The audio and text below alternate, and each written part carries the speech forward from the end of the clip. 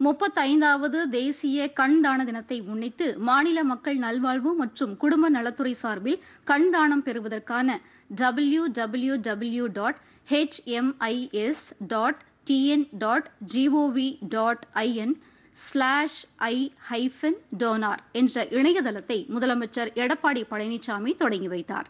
அப்போது முதலமைச்சரும் தமது கண்களை தானமாக வழங்குவதற்கான உறுதிமொழியினை அளித்ததுடன் அதற்கான சான்றிதழையும் மக்கள் நல்வாழ்வு மற்றும் குடும்ப நலத்துறை முதன்மை செயலாளர் ஜெய ராதாகிருஷ்ணனிடம் வழங்கினார். அப்போது அமைச்சர் சி. விஜயபாஸ்கர் தலைமைச் செயலாளர் சண்முகம் உள்ளிட்ட உயர் அதிகாரிகள் உடனிருந்தனர்.